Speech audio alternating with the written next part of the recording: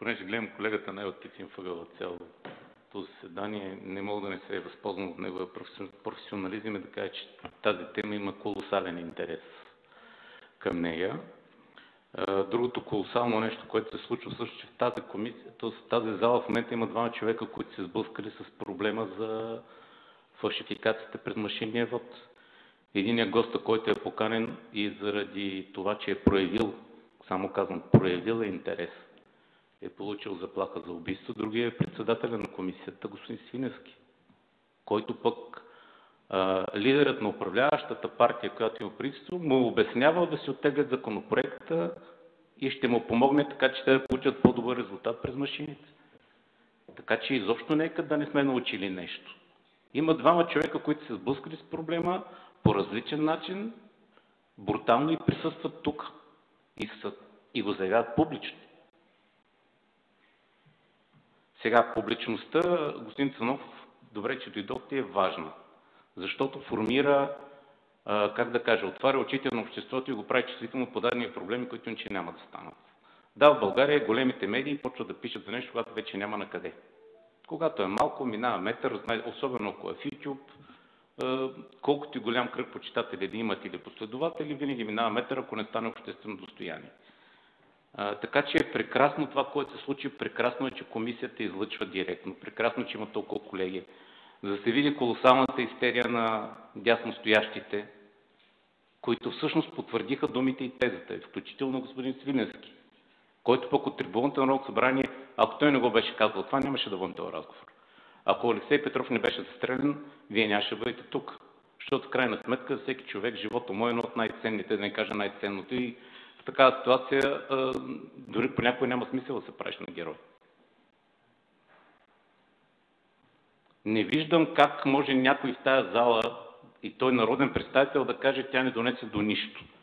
Как да ни донесе до нищо, когато само при самата тема, за която говорим, хора получават заплаха за убийство? Как мога да образуваш такова изречение? Да ни говорим, че сега извинявай, ама ти си IT експерт по сигурност и си от управляващата партия, за която има обосновани съмнения, че се възползвала от това.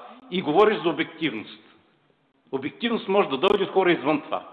Както казах, имаме съмнения изобщо по цялата врига, не само в това дали ще се манипулират 200, 300 или 400 машини, което най-вероятно се прави. Или поне никой не е доказал, че не се прави. И аз мога да седна да разказвам какви резултати са получавали наши хора по комисиите, но се удържам.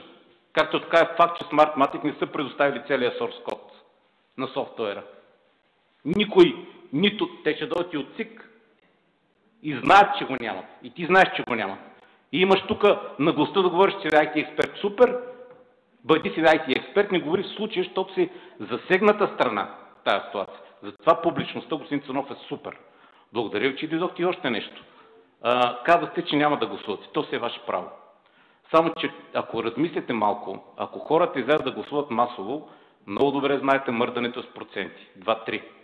Прекосили.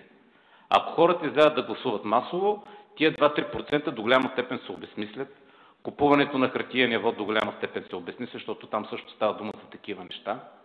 И а, много е лесно да се провери, когато избирателната активност в България в началото на 90-те години беше 90%, как ДПС имат отново 400 000 гласа, но те се равняват на 4%. Така че негласуването бетонира статуквото, бетонира хората, които могат да купуват гласове, бетонира хората, които манипулират вота, за да управляват таен партия или онаен партия. И да, Алексей Петров е от дългогодишен приятел на татото на Киро. И не го криеха и цялата им комбинация го знае. И да, ако някъде е действал, той не работеше за правителство без Киро, който е син на баща си и не взима решение и без него. Така че още веднъж много ви благодаря и публичността е важна и преосмислете дали все пак, тъй като имате доста последователи, да ни им обясняте, че е по-добре да го слушате по този начин. За момента това е единствен начин за намаляване на, т.е. за намаляване тежестта на фалшификациите, които така че ги има.